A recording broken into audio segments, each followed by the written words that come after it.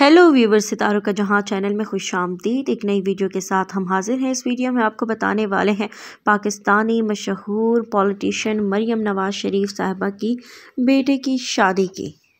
जी हाँ दोस्तों मरीम नवाज़ शरीफ साहिबा के बेटे की शादी की वीडियोस और तस्वीर के साथ हम हाजिर हैं। इस वीडियो में आपको बताने वाले हैं कि मरीम नवाज़ ने अपने बेटे जुनैद सफदर की शादी की तस्वीर मंजर आम पर ले आई हैं। बारात के खूबसूरत मनाजिर हम आपको दिखा रहे हैं। दोस्तों, बारात के इस मौके पर महरूनसा सफदर ने अपने ही वली अपने ही वलीमे का जोड़ा जेब तन किया हुआ है और अपने वलीमे से ज़्यादा तो वो आज खूबसूरत दिखाई दे रही हैं। दोस्तों, हर फ़ंक्शन पर दुल्हन से ज़्यादा नंद और सास खूबसूरत दिखाई दे रही हैं। लेकिन इस फ़ंक्शन पर दुल्हन भी काफ़ी लाजवाब दिखाई दे रही हैं। उनकी खूबसूरती को भी चार चाँद लग गए हैं। दोस्तों मरियम नवाज़ की बेटी की ये शादी के मनाजिर सबको काफ़ी पसंद आ रहे हैं और सभी शादी के फ़ंक्शंस को काफ़ी इंजॉय कर रहे हैं।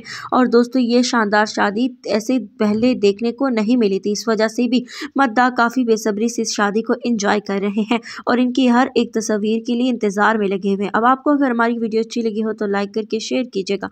और अगर ये वीडियो थोड़ी भी आपके लिए इन्फॉर्मेटिव साबित हुई हो, हो तो हमारे चैनल को सब्सक्राइब करना मत भूलिएगा।